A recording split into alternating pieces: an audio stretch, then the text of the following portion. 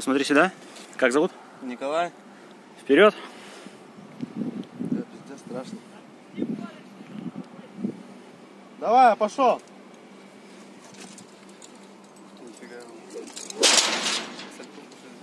Ну да. И так бывает.